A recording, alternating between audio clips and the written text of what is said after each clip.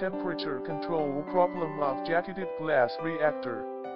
For users, nothing is more difficult than knowing what kind of temperature control equipment to choose to meet their own test or production requirements. Without scientific analysis and calculation, it is basically impossible to choose cost effective equipment suitable for your project based on imagination and experience. Our company has been committed to the R&D and production of temperature control equipment for years.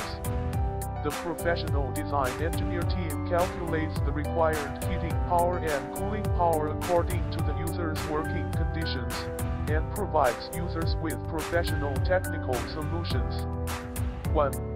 The basic basis for selecting equipment can be obtained by analyzing the temperature control equipment's ability to raise and lower the temperature of materials.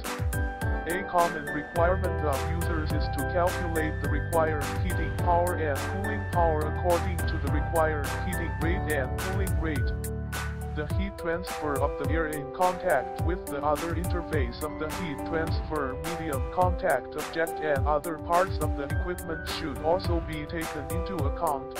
Because this part cannot be calculated, it can only be estimated, and can be regarded as a loss of cold and heat. Even if the insulation measures of the heat transfer medium contacts are well done, the loss cannot be avoided, and the loss rate can only be reduced.